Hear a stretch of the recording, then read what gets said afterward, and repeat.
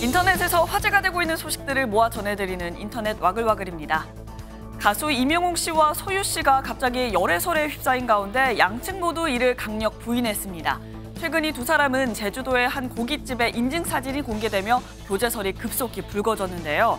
식당 관계자가 이명웅 씨, 소유 씨와 각각 찍은 사진을 SNS에 올렸는데 누리꾼들은 두 사람이 같이 간 게 아니냐며 열애설로 확산됐다고요. 그러자 어제 이명웅 씨는 직접 SNS 개인 라이브 방송을 켜고 제주도에 사는 작곡가 조영수 씨 집에 놀러 왔다. 조영수 씨를 소개하며 간접적으로 해명하기도 했고요. 소유 씨 소속사 측도 최근 촬영을 위해 제주도에 방문했는데 우연히 동선이 겹쳤을 뿐 아무 사이도 아니라고 전했다네요. 결국 당시 일은 해프닝으로 일단락됐습니다.